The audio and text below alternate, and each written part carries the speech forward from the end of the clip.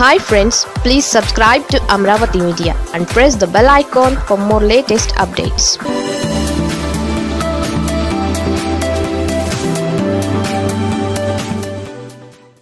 okay నిన్న రాష్ట్రంలో కొన్ని సంఘటనలు చోటు చేసుకున్నాయి. ఈ సంఘటనలు చోటు చేసుకున్న సందర్భంలో ముఖ్యంగా తెలుగుదేశం పార్టీ దాని అనుబంధంగా ఉన్నటువంటి ఎల్లో మీడియా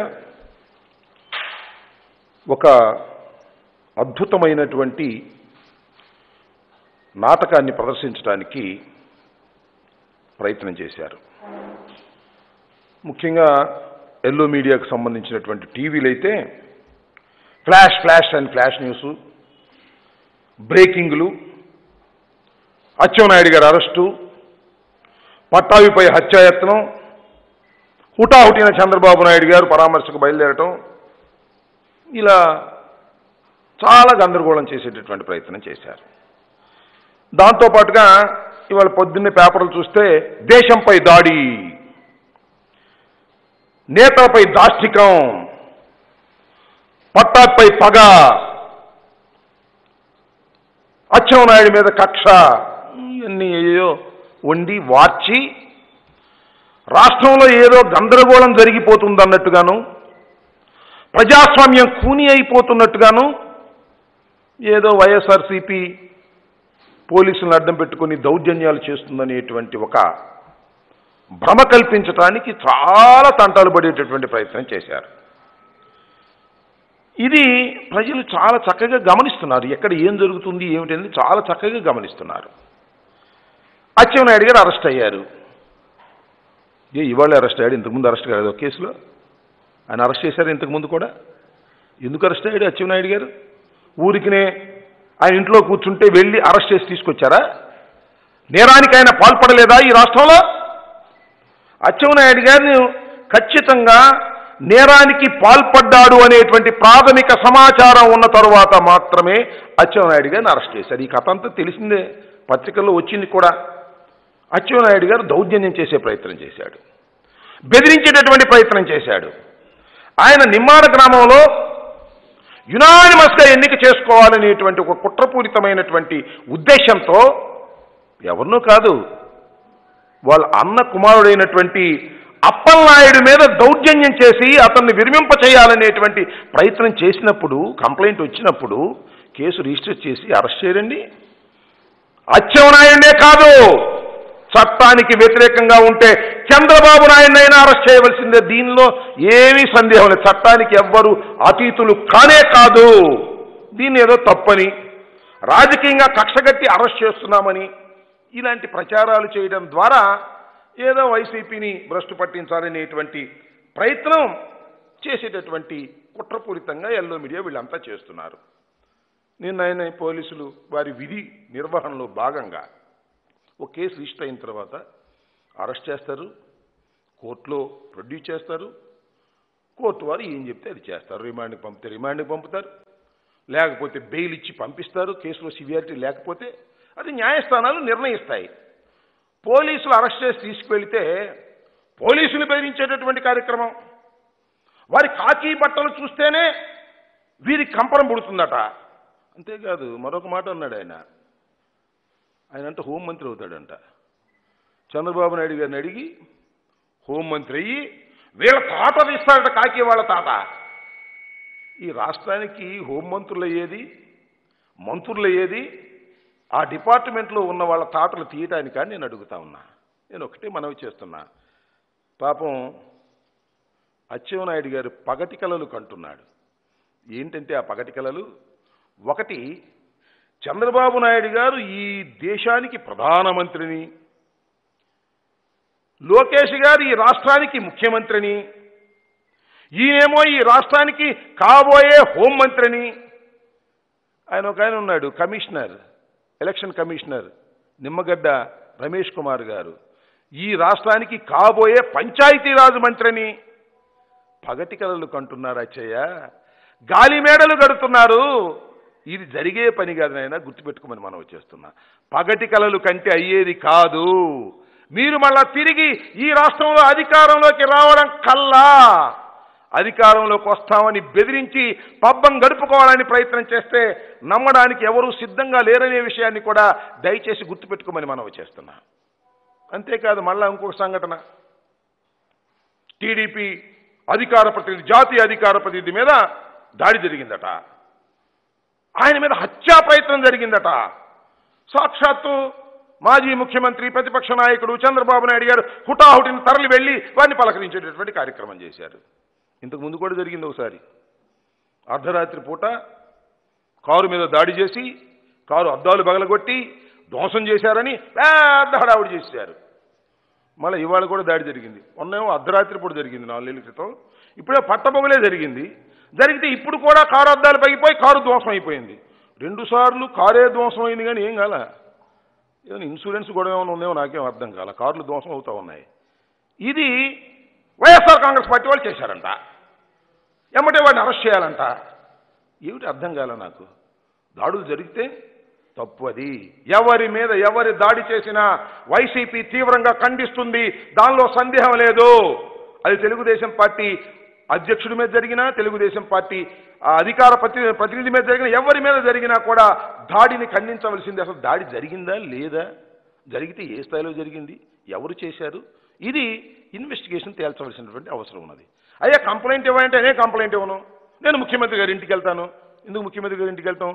ఏదైనా ఒక దాడి జరిగితే నిజంగా జరిగుంటే కంప్లైంట్ ఇస్తే ఆ కంప్లైంట్ ప్రకారం ఎవరెవరు దాడి చేశారో ఇన్వెస్టిగేషన్ చేసేటటువంటి రైటు పోలీస్ వారికి ఉంటుంది. ఒకవేళ పోలీసు మీద నమ్మకం లేకపోతే కోర్టుకు వెళ్ళొచ్చు. కోర్టుకు వెళ్ళి కోర్టులో ఆశ్రయించవచ్చు కానీ కంప్లైంట్ ఏమో మేము వెళ్ళి ముఖ్యమంత్రి గారి దగ్గర ఇంటికాడ పానాసరం పడతామంటే చూస్తూ ఊరుకోవడానికి సిద్ధంగా లేవని కూడా ఈ సందర్భంగా మనవి చేస్తున్నాం అంతేకాదు చంద్రబాబు నాయుడు గారు హుటాహుటిన బయలుదేరి వచ్చేశారు. చంద్రబాబు నాయుడు గారు వచ్చేదాకా హాయిగా టీవీల్లో మాట్లాడుతున్నాడు పట్టాభి గారు. చంద్రబాబు రాగానే పడుకునే సీన్ పెట్టాడు బెడ్ మీద. పడుకుంటే ఈయన కూర్చుని పలకరిస్తున్నాడు. ఆవేశం ఆందోళన. ఎన్టీ రామారావు గారు కూడా గుర్తొచ్చారు నాకు. నవరస నటన సార్వభౌముడైనటువంటి ఎన్టీ రామారావు గారిని మరిపించే విధంగా చంద్రబాబు నాయుడు గారు నిన్న యాక్ట్ చేశాడు నిన్న. అయితే ఇక్కడ తేడా ఏంటంటే ఎన్టీ రామారావు గారు సీనుకు తగ్గట్టుగా నటిస్తాడు. చంద్రబాబు నాయుడు గారు సీనుకు మించిపోయి నటించారు నిన్న. ఏముంటున్నాడు చూసారా చంపేస్తారా? నన్ను కూడా చంపండి. ఏది నాకు తెలియదు ఎవరు చంపారండి? ఎవరు చంపారు? అంత బాగానే ఉన్నారుగా.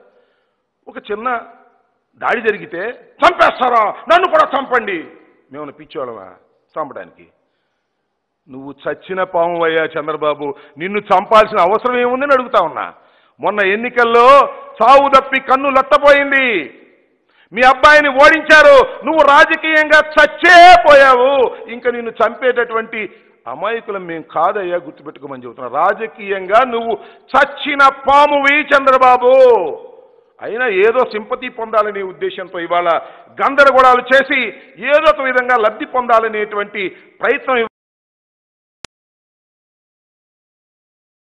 నేను మనవి చేస్తున్నాను. అంటే తూర్పుగోదావరి జిల్లాలో గొల్లలగుంట పంచాయతీ సర్పంచ్ ఎన్నికల్లో ఎవరైతే పంచాయతీ సర్పంచ్గా నామినేషన్ వేశారో ఆయన భర్త అనుమానాస్పద పరిస్థితుల్లో చనిపోయారు. అది అనుమానాస్పద పరిస్థితి. ఆయన ఊరేసుకున్నాడని వార్తలు వచ్చాయి లేదు ఆయన హత్య చేశారనేటువంటి మాట కూడా తెలుగుదేశం వారు మాట్లాడుతున్నారు. ఎస్ దాని మీద ఇన్వెస్టిగేషన్ జరగవలసినటువంటి అవసరం ఉన్నది. ఖచ్చితంగా వాస్తవాలు బయటకు రావాల్సినటువంటి అవసరం కూడా ఉన్నది. దీని మీద నాకు ఆశ్చర్యంగా అనిపించేది ఏంటంటే సాక్షాత్తు ఎన్నికల కమిషన్ వారే వెళ్ళిపోయారు ఆయన దగ్గరికి. వెళ్ళి పరామర్శించి వస్తున్నారు ఏమి నాకు అర్థం కాల? ఎన్నికల కమిషన్ చేయాల్సినటువంటి విధేమిటి ఏమిటి? ఎన్నికలు ప్రశాంతంగా నిర్వహించవలసినటువంటి బాధ్యతని ఎన్నికల కమిషన్ చేయాలి అంతే తప్ప ఎన్నికల్లో పోటీ చేస్తున్నటువంటి అభ్యర్థులు బంధువులు చనిపోతేనో మిత్రులు చనిపోతేనో వారి పార్టీ వారిని చనిపోతేనో వెళ్ళి పరామర్శించేటటువంటి బాధ్యత తీసుకోవాల్సినటువంటి అవసరం ఉన్నదా నేను అడుగుతా ఉన్నా. వాళ్ళు చనిపోతేనే తెలుగుదేశం వారికి సంబంధించిన వారు చనిపోతేనే వెళ్తారా? ఏ పార్టీకి సంబంధించిన వారు చనిపోయినా వెళ్ళి పలకరించి వస్తారా? నిమ్మగడ్డ రమేష్ కుమార్ గారు దీనికి సమాధానం చెప్పవలసినటువంటి బాధ్యత ఉన్నది. ఎందుకు లేరండి నిమ్మగడ్డ రమేష్ కుమార్ గారు? చంద్రబాబు నాయుడు గారికి బదులు వెళ్ళారా మీరు? లేకపోతే లోకేష్కి పైలట్గా మీరు వెళ్ళారా? దేనికోసం వెళ్ళారు? మీరు వెళ్ళంగానే వెళ్ళి రాగానే మళ్ళీ లోకేష్ బాబు గారు వెళ్ళారు. వెళ్ళి ఆయన ఒక ఉపన్యాసం చెప్పి వచ్చాడు. ఇది వైసీపీ కార్యకర్తలే చేశారని. ఒక అనుమానాస్పదమైనటువంటి మరణం జరిగినప్పుడు చట్టబద్ధంగా దాని మీద ఇన్వెస్టిగేషన్ చేయవలసినటువంటి బాధ్యత పోలీస్ యంత్రాంగానికి ఉంటుంది. అంతేగాని ఎన్నికల కమిషన్ ఒక పొలిటికల్ లీడర్స్ లాగా వెళ్ళిపోవడం అంటే ఇది చాలా దురదృష్టకరమైనటువంటి పరిణామం. ఎవ్వరు చేసే పని వారు చెయ్యాలి ఈ సమాజంలో. గాడిద చేసే పని గాడిద చేయాలి కుక్క చేసే పని కుక్క చేయాలి తప్ప మురిగితే గాడిద ఏమైందో మనకు తెలుసు కదా పూర్వం. అదేవిధంగా ఎవరు బాధ్యతలు వారు నిర్వహించుకోకుండా ఇవాళ ఎన్నికల కమిషనే ఒక తెలుగుదేశం పార్టీగా అవతరించి వెళ్ళి పరామర్శించేటటువంటి కార్యక్రమాలు చేస్తుంటే ఇంకేం చెప్పాలి నేను అడుగుతా ఉన్నా. చాలా దురదృష్టకరమైనటువంటి పరిణామాలు ఇవాళ రాష్ట్రంలో జరుగుతూ ఉన్నాయి. దయచేసి ప్రజలు దీన్ని గమనించాలని మనం చేస్తున్న ఒక రసవత్తరమైనటువంటి నాటకాన్ని ప్రదర్శించడానికి ఇవాళ చంద్రబాబు నాయుడు గారు లోకేష్ గారు అచ్చెన్నాయుడు గారు నిమ్మగడ రమేష్ కుమార్ గారు కలిసి కుట్రపూరితంగా వ్యవహరిస్తున్నారు. కానీ ఏమీ చేయలేదు. ఇది ప్రజాస్వామ్యం. ప్రజాస్వామ్యంలో అంతిమ విజయం ప్రజలదే. ఎవరికి బలం ఉంటే వారే గెలుస్తారు. నిమ్మాడలో ఏకగ్రీవంగా ఎన్నిక జరగాలని పట్టుబట్టి బలవంతంగా చేస్తున్నటువంటి అచ్చెవనాయుడు గారి మీద యాక్షన్ తీసుకుంటే తప్పేంటి అని అడుగుతా ఉన్నా. దానికి ఏం మాట్లాడరే? ఎన్నికల కమిషన్? అచ్చెవనాయుడు గారు అయితే ఎన్నికల కమిషన్ మాట్లాడదా? నిష్పక్షపాతంగా ఉండవలసినటువంటి ఎన్నికల కమిషనర్ పక్షపాత ధోరణితో వ్యవహరిస్తున్నారు. ఇది అప్రజాస్వామికం. దీన్ని ప్రజలు గమనించాలని ఈ సందర్భంగా నేను మనవి చేస్తూ ఉన్నాను. ఇంకా? చెప్పండి.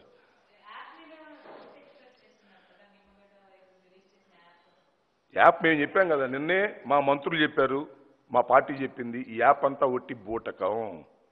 ఇది ఒకసారి మీకు గుర్తుందో లేదో చంద్రబాబు నాయుడు గారి ఆఫీసులోనే తయారైంది ఒక లెటరు. ఆ లెటరు నిమ్మగడ్డ రమేష్ కుమార్ గారు సంతకం పెట్టి హోమ్ సెక్రటరీ సెంట్రల్కి పంపించాడు. అదేవిధంగా ఈ యాప్ కూడా తెలుగుదేశం పార్టీ ఆఫీసులో తయారు చేసి ఇవాళ ఎన్నికల కమిషన్ వారు దీన్ని రిలీజ్ చేస్తున్నారు. ఇదంతా బూటకం. తెలుగుదేశం పార్టీకి ప్రస్తుతం ఉన్న ఎన్నికల కమిషనర్కి మధ్యన పెద్ద తేడా ఏమీ లేదు. ఇద్దరు కలిసి చేస్తున్నారు. ఇది చాలా దురదృష్టకరమైనటువంటి పరిణామం. ఏదో ఒక విధంగా తెలుగుదేశాన్ని తెలుగుదేశం అభిమానుల్ని గెలిపించాలనే తాపత్రయంతో ఇవాళ నిమ్మగడ్డ రమేష్ కుమార్ గారు ప్రవర్తిస్తున్నట్టుగా అనిపిస్తుంది. దానిలో భాగంగానే ఇవాళ యాప్ కూడా అనేది మా నమ్మకం. యాప్ను నమ్మవలసిన అవసరం లేదని మేము భావిస్తున్నాం.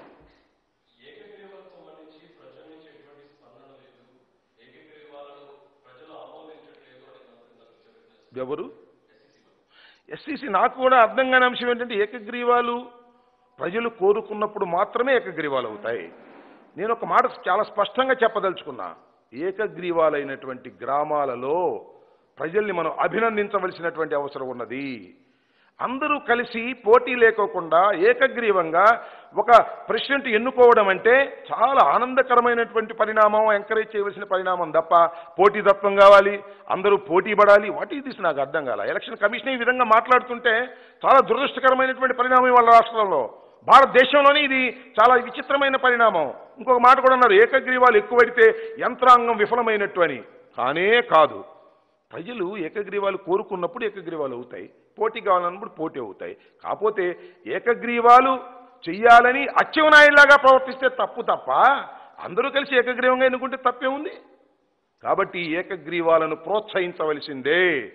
ఏ రాజ్యాంగ వ్యవస్థ అయినా ఏ రాజకీయ పక్షమైనా మంచిని కోరుకునేవారు శాంతిని కోరుకునేవారు ప్రజలందరూ సుఖ సంతోషాలతో ఉండాలని కోరుకునేవారు ఏకగ్రీవాలను ప్రోత్సహించవలసిందే. ఏకగ్రీవాలను ప్రోత్సహించకపోతే అది తప్పు అనేది నా అభిప్రాయం. ఇమ్మోరల్ అని కూడా నా అభిప్రాయం. అందువల్ల ఏకగ్రీవాలను ప్రోత్సహించమని రాష్ట్ర ప్రజల్ని రాజకీయ నాయకుల్ని రాజకీయ పక్షాలని నేను ఈ సందర్భంగా కోరుతున్నాను. రాష్ట్రంలో రాజకీయ ప్రమేయం లేనిటువంటి ఎన్నికలు జరుగుతూ ఉన్నాయి కాబట్టి అందరూ కలిసి ఏకగ్రీవాలను ప్రోత్సహించండి అని నేను మనవి చేసుకుంటున్నాను. ఓకే?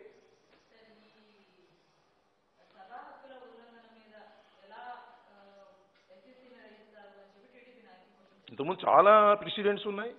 టీడీపీ నాయకులు ఎందుకు మాట్లాడుతున్నారు నాకు అర్థం కాలే. అంటే దీన్ని బట్టి మీకు అర్థమవుతుంది కదా. ఎస్సీసీ మీద మీరు ఎందుకు సభా హక్కులు నోటీస్ ఇస్తారు? అంటే ఎస్సీసీ మాది. మా జేబు సంస్థ. ఎస్. శాసనసభకి ప్రివిలేజ్ కమిటీకి ఎస్సీసీ మీద కూడా యాక్షన్ తీసుకునేటటువంటి రైట్స్ ఉన్నాయి. This in established fact in Andhra Pradesh not only in Andhra Pradesh మొత్తం ఆల్ ఇండియాలో చూస్తే ఇంతకు ముందు కూడా కేసులు అనేకం జరిగాయి ఇలా. ఎలక్షన్ కమిషన్ కూడా బోల్లో నుంచోబెట్టి ప్రశ్నించారు. సభా హక్కులు అనేది ఒక శాసనసభ్యుడికి ఒక మంత్రికి హక్కులు ఉంటాయి ఆ హక్కులకు భంగం చేస్తే ఏ వ్యవస్థనైనా కూడా విచారించేటటువంటి హక్కు శాసనసభకు ఉంటుంది. శాసనసభ ఇది సుప్రీం. దానిలో అనుమానం లేదు. సభా హక్కుల విషయంలో శాసనసభదే తుది నిర్ణయం. అది ఎన్నికల కమిషన్ కావచ్చు మరొకరు కావచ్చు మరొకరు కావచ్చు ఎవరైనా కూడా మంత్రుల హక్కులకు భంగం కలిగించే విధంగా ప్రవర్తిస్తే వారి మీద యాక్షన్ తీసుకునేటటువంటి హక్కు రైటు ప్రివిలేజ్ కమిటీకి శాసనసభకి ఉంటుంది. హక్కులు ఏ విధంగా భంగం కలిగినాయని విచారణలో తేలుతుంది. ఇప్పుడు కాదు కదా? మా హక్కులు భంగం కలిగాయని ఇద్దరు శాసనసభ్యులు మంత్రులు శాసనసభకు విన్నవించారు. దీని మీద విచారణ జరగవలసినటువంటి అవసరం ఉన్నది. ప్రైమ్ ఆఫీసీ కేసు ఉన్నప్పుడు ఆ కేసుని శాసనసభ ప్రివిలేజ్ కమిటీ టేకప్ చేస్తుంది. దానిలో సభ హక్కులు భంగం జరిగితే యాక్షన్ తీసుకుంటుంది జరగకపోతే వదిలేస్తుంది. వాట్ ఈస్ దేర్ దీనికి ఎందుకు కంగారు పడుతున్నారు? దీనికి ఎందుకు తెలుగుదేశం వాళ్ళు గొంతెత్తుతున్నారు అంటే నిమ్మగడ్డ రమేష్ కుమార్ గారు మీ మనిషినే కదా. చెప్పకనే చెప్తున్నారు కదా మీరు. ముందే శిక్ష వేస్తామని భయపడుతున్నారేమో వాళ్ళు. మేము బెదిరించడం ఏంటి? ఎవరు బెదిరించారు శిక్ష వేస్తున్నామని? నిరూపణ అయితే శిక్ష వేస్తారు. లేకపోతే లేదు. దానికి ఎందుకు భయపడుతున్నారు? తప్పు చేశారు కదా అని. ఎన్నికల కమిషన్ నిర్ణయం మీరు చూశారు ఇవాళ అభిశంసన చేయమని మేము అన్నాము అన్నారు. మననేమో విత్డ్రా చేసుకుంటున్నాం అంటున్నారు. వాట్ ఈస్ దిస్ ఎన్నికల కమిషన్కి లేదా ముందెందుకు సెన్సూర్ చేయాలన్నారు? తర్వాత ఎందుకు విత్డ్రా చేసుకోవాలంటున్నారు? తప్పు చేశారు కదా? ముందేమో ద్వివేది మీద ఐఏఎస్ ఆఫీసర్ల మీద వారి పదవి విరమణ చేయాలని చెప్పేసి ఘింకరించి లెటర్లు రాశారా? అలా చేయడానికి నీకు హక్కు లేదంటే నిజమే నిజమే నాకు హక్కు లేదని ఎక్కలుతారా what is your standard election commission standard ఏమిటి కక్ష సాధింపు ధోరణి అనేది స్పష్టంగా ఎలక్షన్ కమిషన్ దగ్గర కనిపిస్తున్నది. దీనిలో ఇంతకన్నా ఏం కావాలి తార్కాను రియలైజ్ ఏదేంటి ఏంటి? తప్పు సరిదిద్దుకోవడం తప్పు కాదు అనేది వాస్తవం. అయితే తప్పు చేయడానికి ముందుకొచ్చి సరిదిద్దుకున్నాడు కదా ఆయన? అంటే ఇలాగే చాలా తప్పులు ఆయన సరిదిద్దుకోవాల్సినటువంటి అవసరం రాబోయే రెండు మూడు వారాల్లోనే బయటకు వస్తుంది ఆయన చేసేవన్నీ తప్పులే. నాకు తెలియగలుగుతానండి ఎవరో ప్రెసిడెంట్ గారు ఏ భర్త చనిపోతే కంటెస్ట్ చేసే భర్త చనిపోతే వెళ్ళి పలకరిస్తారంటండి ఎలక్షన్ కమిషనర్? నాకు అర్థం కాలేదు. ఆయన డ్యూటీ అదే. What is this police will take action అది హత్యో ఆత్మహత్యో మరొకటో తేలవలసిన అవసరం ఉంది. ఆరోపణలు చేస్తారు పొలిటికల్ పార్టీగా. మా ఆయన చంపేశారంటారు. ఆయన ఊరేసుకున్నాడని మేము అంటాం తేలాలి కదా. ఎలక్షన్ కమిషన్ గారు కోర్టు వేసుకుని టగటగా వెళ్ళిపోయి పలకరించి నీ మీ మనోభావాలకు తగ్గట్టుగానే మేము ఎన్నికలు జరుపుతాం. What is this nonsense నాకు అర్థం కాలేదు. తప్పు. నీ డ్యూటీ అది కాదు. Police has go and take the investigation నువ్వెవరు అయ్యా నువ్వు వెళ్ళి మాట్లాడడానికి నువ్వు వెళ్తావు. నీ వెనకాల లోకేష్ వెళ్తాడు. చంద్రబాబు నాయుడు గారు ఇక్కడ తిడతాడు. వాట్ ఈస్ దిస్ తప్పు మీద తప్పు తప్పు మీద తప్పు చేసుకుంటూ పోతుంది ఎన్నికల కమిషన్. మూల్యం చెల్లించక తప్పదు. పదవి విరమణ తరువాత కూడా మూల్యం చెల్లించక తప్పదు. రాసుకోండి వాళ్ళ ఇంతటితో పో చేసిన పాపం ఊరికే పోదు. నిష్పక్షపాతంగా ఉండవలసినటువంటి ఒక రాజ్యాంగ వ్యవస్థ పక్షపాతంగా వ్యవహరిస్తున్నది. దీని సంగతి ప్రజాస్వామ్యంలో తేలుస్తారు ప్రజలు గుర్తుపెట్టుకోండి. జాగ్రత్త.